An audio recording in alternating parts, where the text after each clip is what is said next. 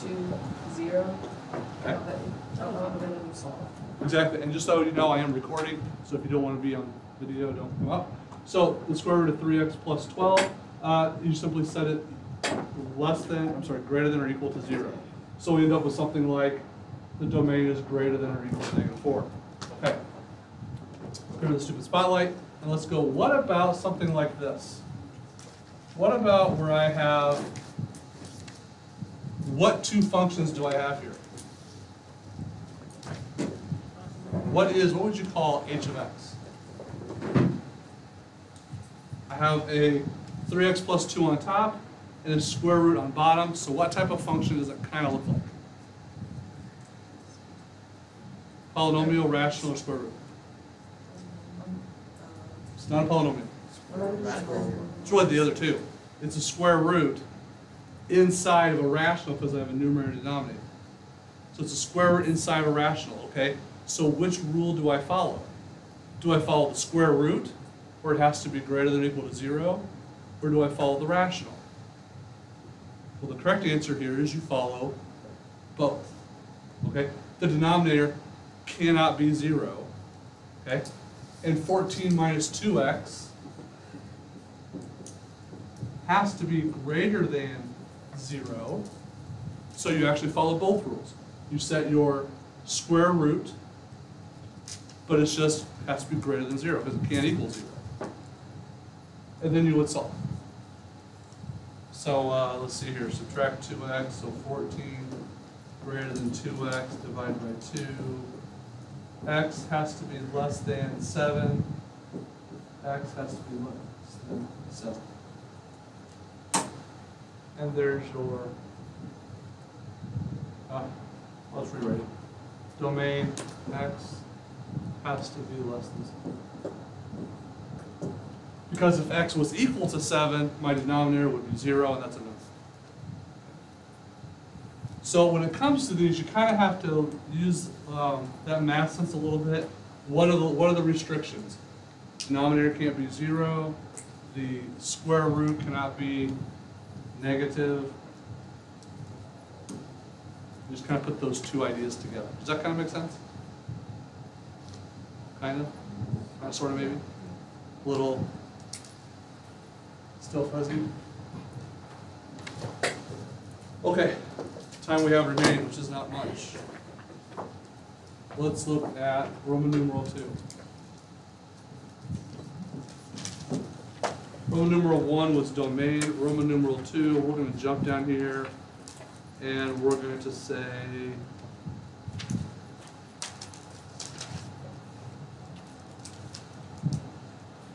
um,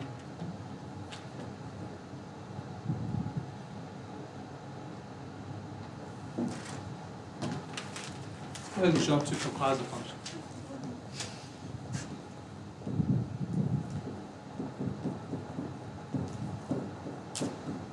Okay, so composite, what word do you see in the word composite?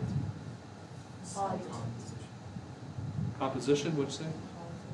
Posit, okay. You know posit was a word? You said composition, what's another form of that word? Component, what'd you say? Compound? No. I, I, I, I, I thought you said, I thought you said it. I thought someone said it over here. Competition. Compose. Okay, oh, somebody said that. okay, I didn't hear you, sorry. Dude, I said it. tw- I'm sorry. I'm deaf. Don't yell at me. Don't yell at me. I'm deaf. Okay, so composite means to compose. We're gonna compose, or we're gonna create, or I think someone said create, or we're going to uh, come up with our own new functions, okay? So compose. Um, So the notation looks like this.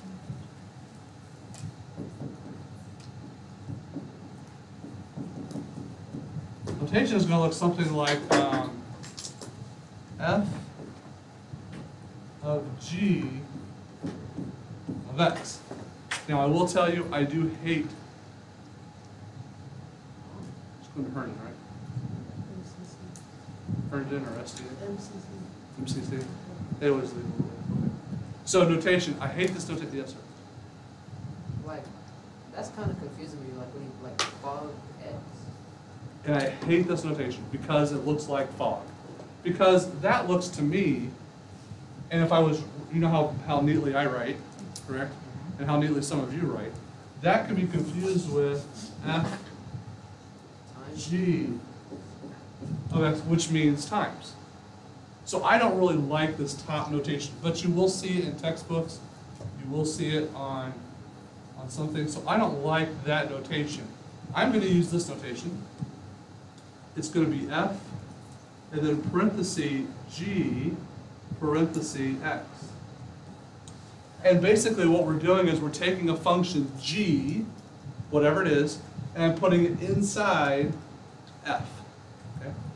So for instance, if I gave you f of x equals, uh, let's come up with a function, uh, let's use a basic uh, quadratic. So f of x equals something like two x squared minus five.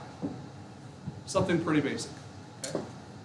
And then if you can remember back to algebra two or algebra one, if I said find, and all of you are saying, I wish this was on the quiz today, find f of three which actually was the very first question on the test, it was just written differently. What do I do with that? You put the, uh, X, like you put three in X place. Say it again? You put three in the X place? Yes. I simply take whatever is inside the parentheses and I put it in place of whatever, wherever the x is. Okay? So to find this one, you simply do f of three equals two times three squared, which is what you did on problem number one today on the quiz. You simply, wherever x is, you put in the value it gave you. I think x was five, no, x was six. So you plug it in and get six squared minus five times six, or plus, I guess it was. And then you would evaluate. Using order of operations, you get eighteen minus five, you should get thirteen. Correct? Two times three is six. You do exponents first. You do exponents before multiplying and dividing. Oh, that's right. So you do three squared is nine. Nine times two is eighteen. Okay, now, that was pretty basic and we've done that for a while. Well, when I use, if I use this notation, so I'm hundred percent agree with, with, uh, Monty, this is horrible. I like this better because it shows you just put g of x, another function, wherever x is. Okay. So let's erase this and let's give another example. Let's come up with another function for g. Let's call g of x, and let's make it a simple linear equation, something easier. So like three x plus four, something like that. So now when I say, let's find f of g of x, I'm gonna take wherever x is in my f function, the outside function, my outside function is f, wherever x is in its place, I'm gonna put what? Three x plus four, the entire g function.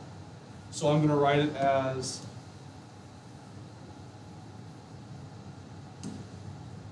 two x squared minus five and then in place of that x, I'm gonna put three x plus four. And then you would evaluate that however you have to, in this case, squaring and distributing and all that type of stuff. But this function goes inside the x. Let's do it the other way. What if I said g of f of x? Okay? Now which function do I start with? Three, three x plus four. I start with three x plus four. So I'm gonna start off with three x plus four. And then what goes in those parentheses? Uh, two X squared minus five. I plug in that function in here, two x squared minus five. And then you can distribute and, this is actually pretty easy. Uh, six x squared minus fifteen plus four gives us six x squared minus eleven gives us a new function, a new quadratic.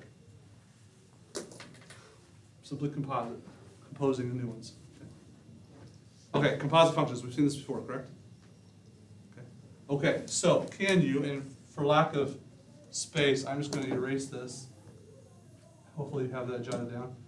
Can you find, can you do f of f of x? Is that feasible? Can you do that? Put a function into itself?